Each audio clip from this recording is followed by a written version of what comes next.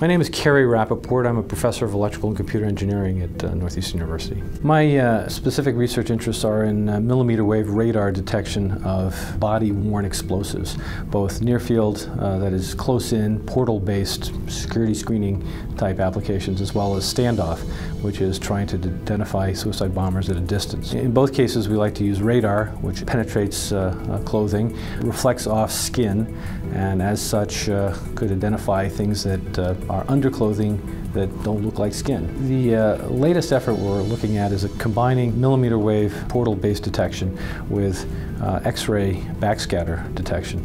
Uh, X-ray is, is, high resolution, is, is uh, very effective, uh, but indeed many passengers are, are, worried about ionizing radiation, and if we could reduce the the, uh, the dosage and amount of, of X-rays that, that, people get, people might prefer that. Millimeter waves are non-ionizing. There's no particular health risks there, but it's a little slower, and the resolution isn't as good. So we're working to both improve resolution, that is, get get higher quality uh, images of, of uh, uh, body shape, but supplemented perhaps with, with X-ray. There's one last technology that we're particularly looking at, which is low frequency radar. The high frequency radar certainly identifies the, the, the accurately the, the external contours of the body, but don't penetrate too well.